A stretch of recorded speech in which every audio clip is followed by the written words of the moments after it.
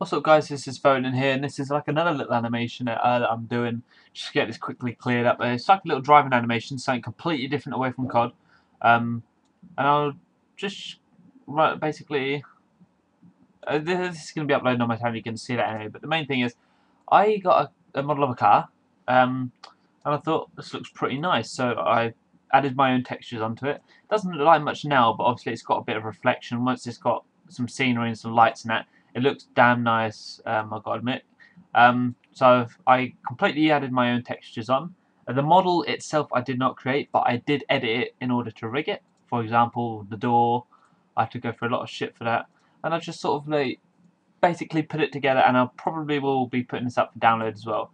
Same thing with the interior. I went into Photoshop, I created my own gauges um, clocks and all that shit. And I've also like light switch, wiper switch. I, have I've added them all in just to let you know. But this tutorial is mainly for um, how to um, steer a car, not how to move it, just how to make the the wheels move um, together without having to do it yourself. Um, this can be quite useful in some ways because it doesn't have to be used on wheels. It can be used in other ways.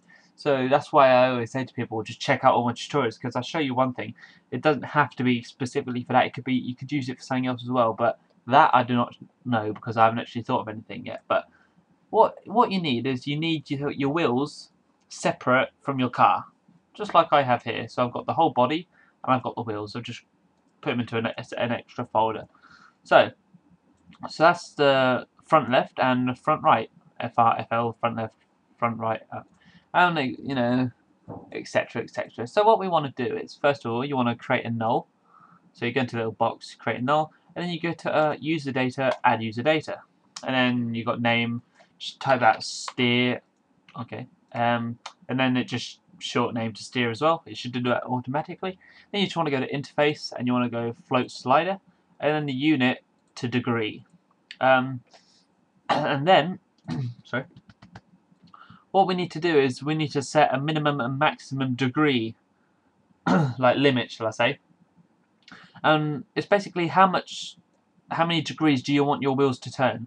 Now wheels don't turn any more than 30 degrees, uh, so if I put minus 30 being the minimum and 30 the maximum, minus 30 is sort of gonna, mm, I don't know how to explain this, but as you can see here, this is a slider. I've put the minimum to minus 30 and the maximum to minus uh, to, and the maximum to 30. Sorry. Now in the middle it's naught. Imagine this at naught. The wheels are straight, and then you turn the wheels left, all the way left, and then turn the wheels all the way right, straight, all the way left. And basically, that's what it means. Um, and I'll show you again in a middle. Uh, sorry, in a minute. I'm getting all the wrong words here, but in a minute how this little slider will work with the wheels. So now we've done that, you just want to click OK. And then you right click Cinema 4D Tags XPresso. And this bring up this little box. What you want to do is you want to just drag the null straight in. Um, and then a little box comes up with null. Or you can just rename it to steer or whatever. And then you want to bring both of the front wheels in, which, for example, mine are these. Just drag them in as well. And what we want to do is just want to put one above, one below. Don't really matter where I've actually put it. For the wheels, we need to click on the little blue box, um, and we want to go to coordinates, global rotation, and we want to go global rotation H. And the reason we want global rotation H is because when you turn the wheels in the rotation that you want them, it rotates them on the H axis. So you don't want them on anything else, because we just want to turn them. So, if we go back to our XPresso, which I've, not that one, already got up, you want to go to coordinates, global rotation, global rotation H. And you want to do that for both the wheels, so I'm just going to do that now. And then, for the actual null itself, you want to click on the red, go down to the bottom user data and click steer. And then, if you just click onto the little red circle, hold and drag, you got a little line and you just want to click on both of the blue circles. So select that one and just do it again for the blue. So that's sort of connected this um, steering slider with our wheels. Um, so, in order to turn the wheels, just click on the null and we've got our steer slider again. So, as I was saying, if I turn it this way, just to sort of see, you can turn the wheels left. Oh shit, they've gone the wrong way, but um, I don't know why that is. Um, okay, well, not exactly what I wanted it to plan out like, but I think it's because my car isn't... Ah, I see. My car is upside down, because if I just hide it, this is... So when Cinema 4D start, uh, starts up, this is uh, sort of the basic. you got your Z, X, and Y axis. But as you can see, my car's turned around. So when I think I'm going left, I'm going to be right, because it's basically flipped. But if my car was the other way around, and I carried out this process, then um, it would be would be alright. But if you click on the null, you can choose your slider from, you know, whichever way you want to turn. Now, it doesn't really matter if um, it does go the wrong way, but I know one bug is if you have the car rotated um, and it's sort of facing along the x-axis, for example, I'll just show you. If your car is like that, that along the red, will not work. Um, and I don't know how to fix that just yet, but I just know it will not work. So, um, if I that back to naught, it's quite a big model this. So, so yeah, that's how you um obviously turn the wheels. And this is minus 30. Uh, zoom out.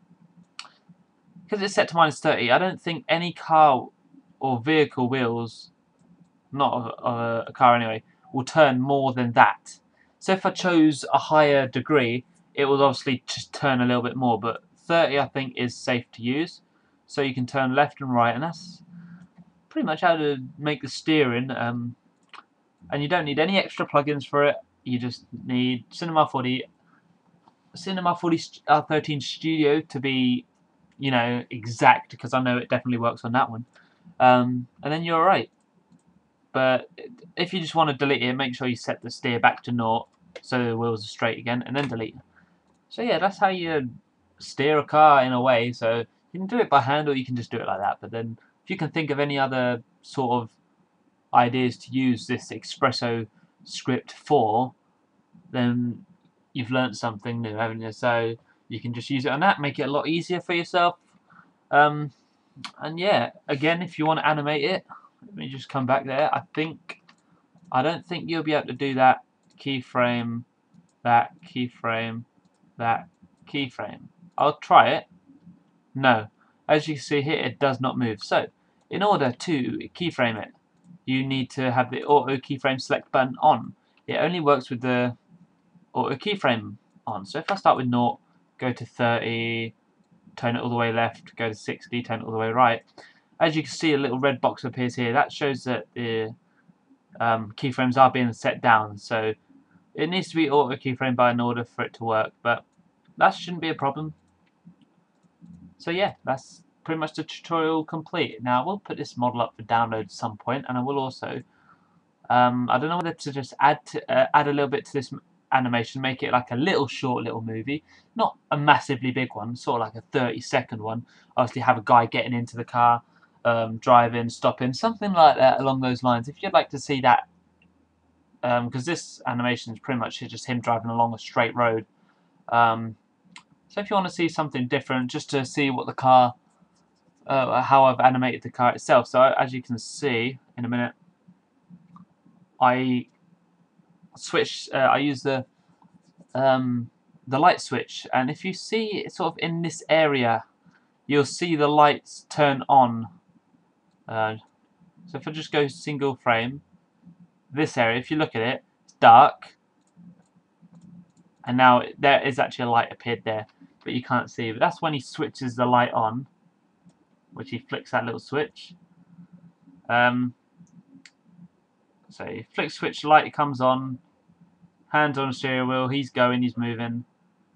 And then as he comes towards this tunnel, he switches on his full beams because obviously it's dark so he won't be able to see and it switches lights um, if you want a tutorial on how to like switch lights from like a, a car say from, from dipped headlights to full beam headlights I can I can show you how to do that it's no trouble at all um, I'll probably do, do that anyways but if you want to see any more of this little animation just to put it into like a short little movie in just a little five second drive um, I can do that if you would like me to. It's not going to be that much stress or, um, you know, it's not going to affect the other animation that I'm doing because it only takes, well, to be fair, this only took me about two hours to animate and that.